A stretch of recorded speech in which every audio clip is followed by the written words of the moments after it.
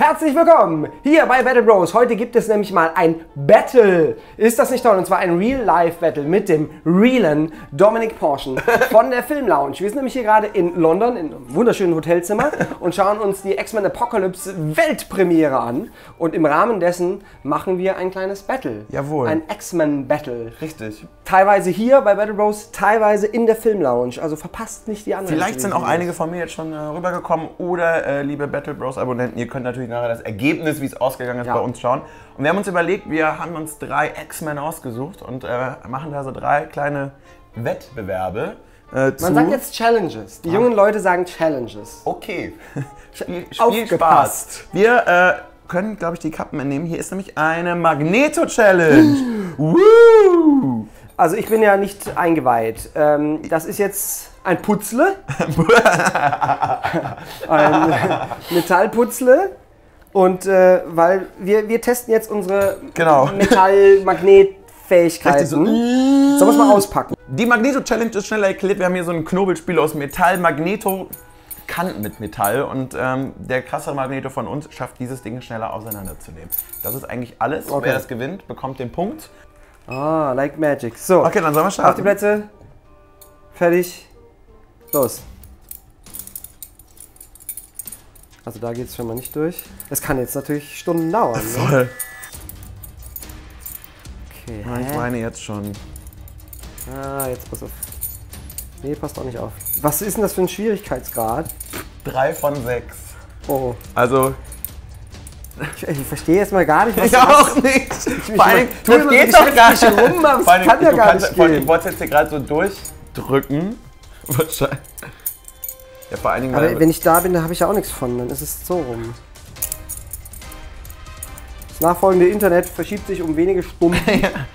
wir, haben das, wir sprengen jetzt erstmal das Internet.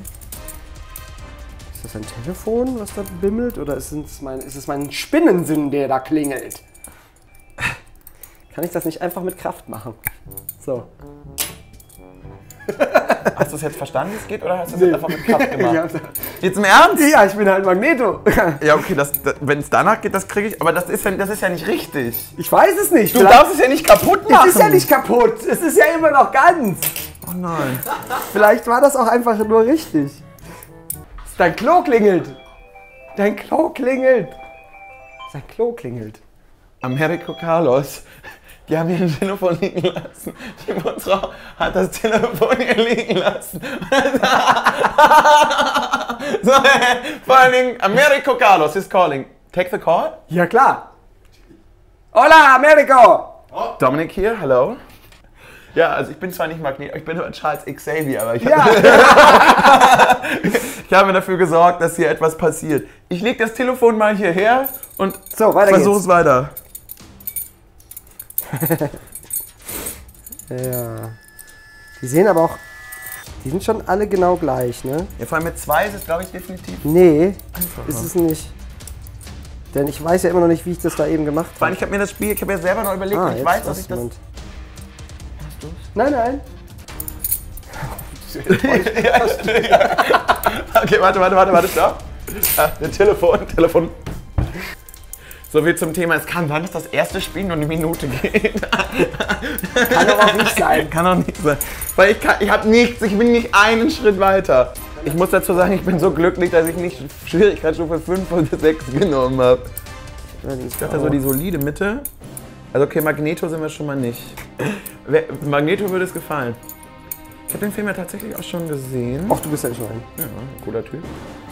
Du willst halt mal in Ruhe gucken, was man Ja, mal kurz kann, den Stress rausnehmen und kurz drüber. Ne? Halt so genau, genau das. so, so, so, so, fertig. Äh, so, also so rum geht das.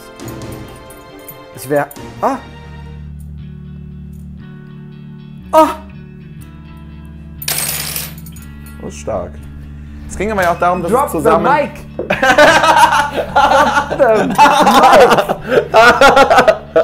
Ja, aber weißt du, was das... aber weißt du, was das Geile ist? Ich kann immer noch den ganzen Tag weiterspielen. Bei dir ist der Spielspaß vorbei. Oh. ja. Äh, ja, okay, damit geht der Punkt an ähm, Fabian. Yeah! Und für das, das, die zweite Challenge, da kann man zwei Punkte holen und in der dritten 3. Ach, auf einmal! So, mein lieber Dominik, was kommt jetzt? Wir hatten Magneto, jetzt kommt Quicksilver und das kann man ja am besten beweisen, wenn man eine verrückte Route durch London am schnellsten absolvieren kann. Verstehe. Und das, äh, Sebastian hat eine gute Route für uns ausgesucht. Gute Bude.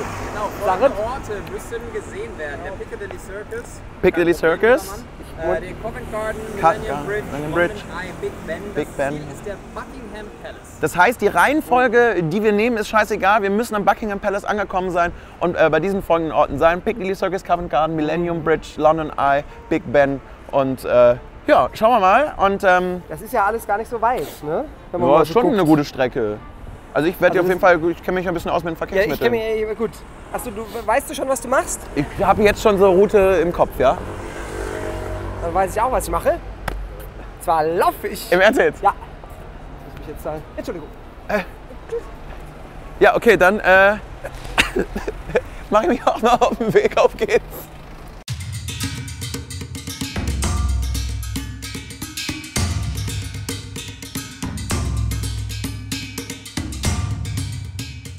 Habe jetzt auch direkt einen Platz ganz vorne in der ersten Reihe. Hier.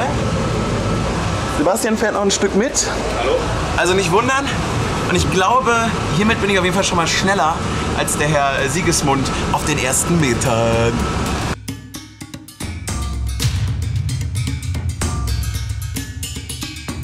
Ha, Piccadilly Circus total easy. Der ist wirklich nur die Straße runter.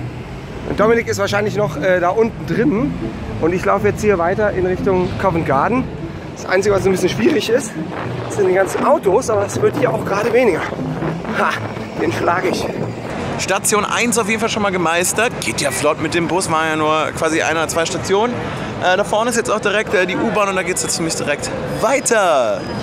Ist schon Covent Garden. Das heißt, das ging jetzt wirklich viel schneller, als ich dachte. Da in der Zeit ist der nicht mal äh, runter in die U-Bahn gekommen, geschweige denn wieder raus. Also bis hierhin habe ich ihn locker. Und jetzt hier auch gleich mal Videobeweis.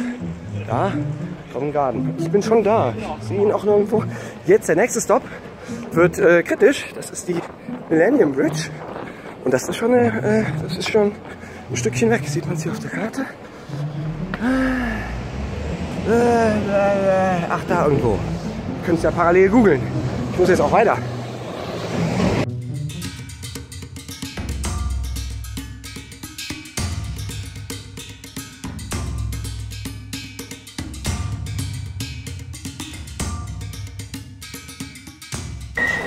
Wir haben ja nur gesagt, dass wir dort gewesen sein müssen. Nicht wie, nicht wo. Es könnte am Himmel sein. Und ich fahre jetzt an Covent Garden einfach nur mal ganz schnell mit der U-Bahn vorbei, während ich an mein, Alter, an mein nächstes Ziel fahre. Das ist natürlich mein Nachteil. Jetzt auf dieser langen Strecke muss ich an der Straße lang. Da hinten sieht man schon äh, das, das äh, London Eye und äh, Big Ben. Das heißt, da muss ich früher oder später noch hin. Muss ja erstmal über diese scheiß Straße über, ohne überfahren zu werden. Die schreiben hier unten auch extra hin, wo man hingucken soll. Denn die fahren ja hier alle verkehrt rum. So, und da hinten irgendwo muss dann die, Mel Mel ne, die Jahrtausendbrücke sein. So, während Fabian jetzt immer noch äh, zu Fuß unterwegs ist, was mache ich natürlich in London? Ich nehme die U-Bahn. Jetzt geht es äh, für uns zum Millennium Bridge. Und ähm, ich glaube, da werde ich einen richtig satten Vorsprung rausholen können. Und jetzt entspanne ich mich mal ein bisschen, ne? So, geschafft. Und wenn es darum geht, auf dieser Brücke ein Foto zu machen, habe ich den Dominik auf jeden Fall geschlagen, denn äh, auf der Brücke gibt es keine U-Bahn-Haltestelle. Äh, hinten ist übrigens äh, die Tower Bridge. Bin ein bisschen froh, dass wir nicht gesagt haben, das ist ein Ziel, denn ich muss jetzt äh, in eine ganz andere Richtung. Also da hinten, das vorhin kurz gesehen, Big Ben und London Eye nicht zu verwechseln mit diesem London Eye Haus, was man auch da irgendwo sieht. Scheiß drauf, muss mich beeilen.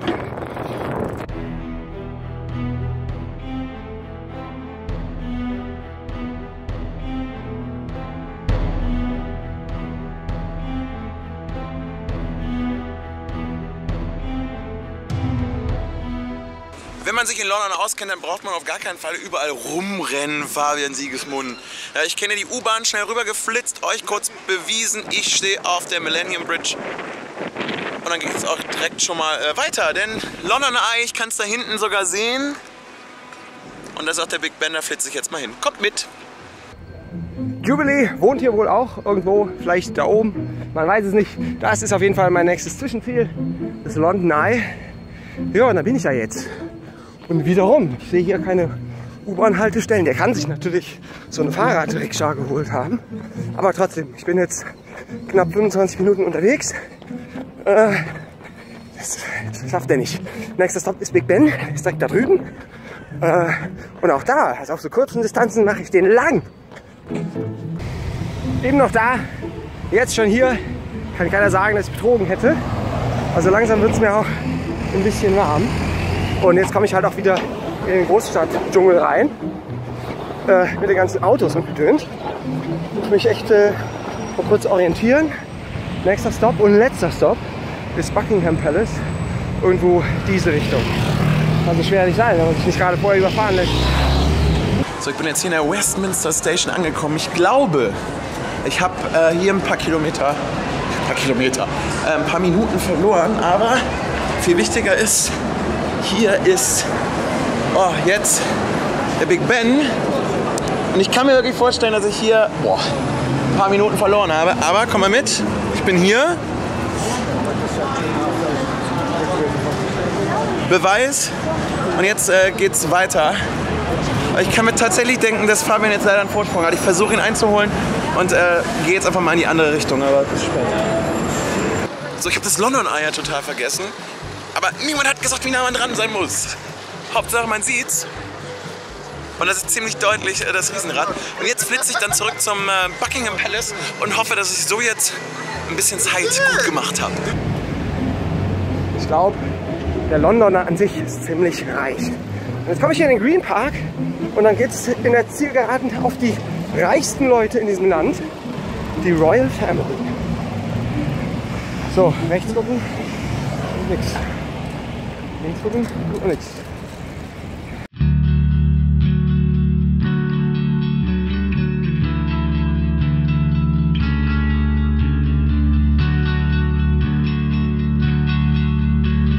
So, ich habe jetzt äh, gerade noch mal mit äh, Google Maps gecheckt. Ist irgendwie viel schneller, wenn ich das Stück jetzt gehe. Ich habe also so ziemlich jedes Verkehrsmittel irgendwie genutzt. Und jetzt bin ich per Pedis unterwegs. Ja, das sagt man nicht mehr. Jetzt versuche ich mich auch ein bisschen zu beeilen. Angeblich muss ich nämlich jetzt hier nur noch äh, runter.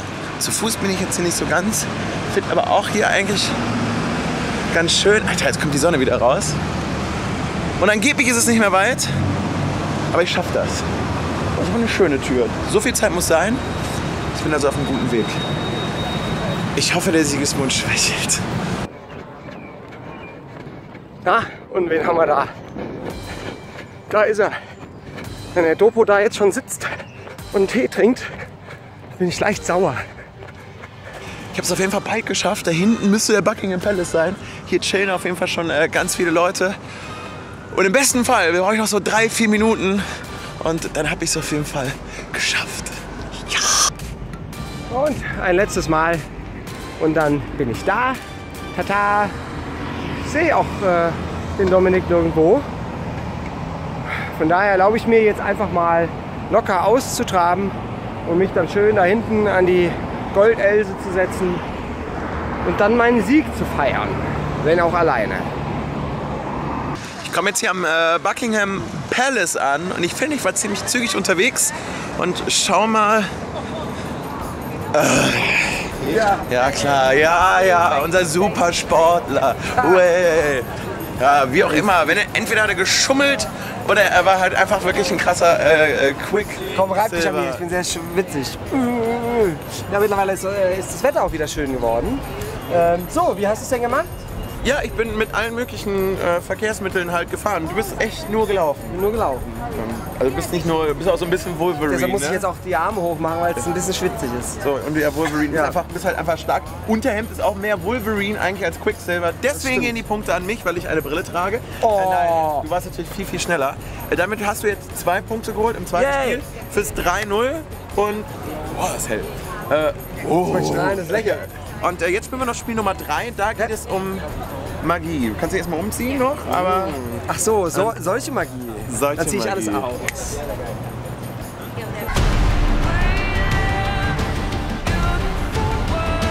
Vergesst alles, was ihr zu wissen glaubt.